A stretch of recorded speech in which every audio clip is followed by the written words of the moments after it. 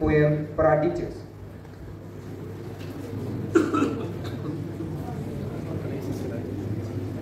To one and all teachers present here, I wish all the teachers a very happy Teachers Day. Today, Adhiraj Singh Chauhan is here to recite a poem for teachers.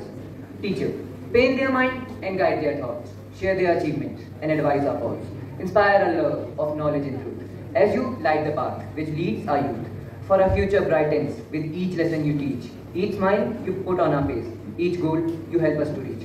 For the dawn of each poet, each philosopher and king begins with the teacher and the wisdom they bring. Thank you, teacher, for reaching deep in me to find all I can be. Before I can see it myself, you never gave up on me. I have a future because of you. Once again, a delightful thank you. Now I would like to invite Rajyavardhan for a Hindi poem. सुप्रभात। आदरणीय प्रधानाचार्य महोदय, शिक्षक एवं शिक्षिकाएँ, एवं मेरे प्रिय साथियों आज मैं आप सभी के सामने एक छोटी सी हिंदी कविता लेके प्रस्तुत हुआ हूँ। अब मेरी कविता। वो कौन सा है पद जिसे देता है ये जहाँ सम्मान? वो कौन सा है पद जो कराता है देशों का निर्माण? वो कौन सा है पद जो बनाता है इंसान को इंसान?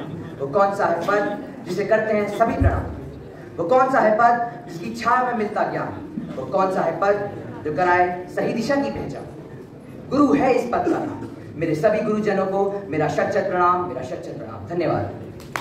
Teachers are like magicians who use their magic wands to help us make our lives easier and more fruitful